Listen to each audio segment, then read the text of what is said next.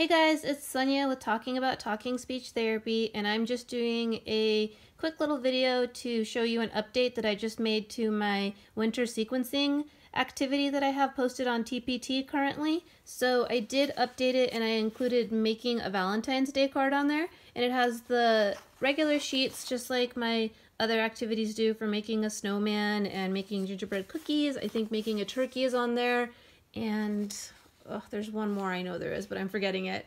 Uh, this is a little bit different than the other ones.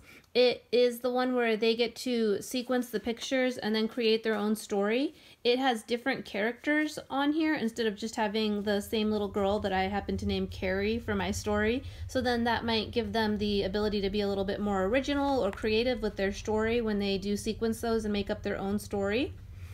And then um, the other difference that I have here is that there's the sheets where you can uh, cut out the pictures. And on this one, I included the pictures with the same little girl and then also with the different characters so that you can go ahead and pick which one they use for that on the four-step sequencing. And then the five-step sequencing is going to be very similar to my other ones where I have it with a person involved in the sequencing and then I also have it without a person so that gives you a little bit of flexibility to let you do what you want to do. Um, the color sheets I typically laminate and then I reuse them. This is the sequencing mat that goes with them. You can put Velcro on there if you'd like or not. I know that I'm not gonna lie, I probably don't get around to using the Velcro because that's extra time that I don't necessarily have. But please do because I know it's much neater if you do have time or you do like that. Go ahead, otherwise don't. And then the bonus that I have on this one, which I was pretty excited about, is I included um, extra worksheets so that you could actually make a Valentine with your students, a Valentine's Day card with your students. So this sheet right here just explains what's included in the bonus section and how you can use it. Um, again, my directions are always just guidelines. If you guys have a different way that you want to use things, please do so. All right, so this is one of the printouts. It's just a little girl with a balloon and I have the lines on there so you can just go ahead and you can take the card and you can fold it in half. I pre-folded that. and then it's the same thing right here. This is that simple heart, which is what's in the sequencing activity. I had it already on the paper for our younger ones that maybe you don't want to give them scissors or you don't have time in your session for that. So all they have to do is color and then fold so they can make their Valentine's Day card. We have um, another little uh, boy holding a balloon that says I love speech. This one's cute. It says be mine. One of the things that I also did include, and this is optional, is a sheet. And you can take this and you can cut it, and then you have two of them so that you can use it, you know, you can give that to two different students. And um, your lines are going to be straighter. It's kind of hard for me to do it with one hand while I'm holding the phone.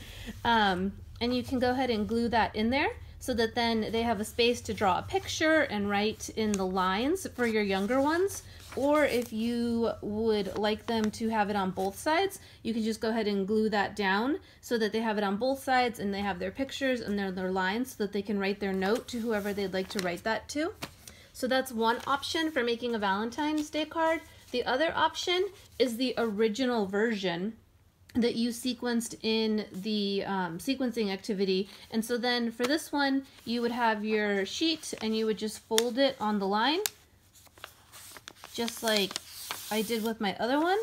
And then right here for this one, I have the hearts, and the hearts are um, segmented into four on a paper, and you would just run this off on red paper on the copy machine, and then go ahead and cut the hearts out, and then you can give each student a heart, and then they can follow the exact steps from sequencing the story. If you want to go ahead and check um, as far as like a interactive retell basically while you're working on that you could do that too so that is my update to the winter sequencing packet and all of the fun stuff that I included on there and I just wanted to make a little video letting you guys know about that all right thanks so much so the only thing that I forgot to mention is that this is a part of the Winter Mixed Language bundle as well. So if you previously downloaded or purchased my Winter Mixed Language bundle or purchased the sequencing packet, you can go to your Teachers Pay Teachers account and you can re-download it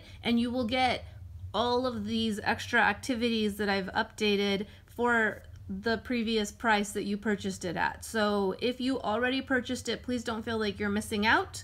You have it. All you have to do is go back to your Teachers Pay Teachers account and you can download and then just print off the pages that you would like. And if you have not purchased it yet, you can get it in the sequencing packet alone, or you can get the Winter Mixed Language Bundle, which is full of a ton of goodies that can keep your students busy and uh, going and good data collection and therapy for you. All right, thanks again. Bye.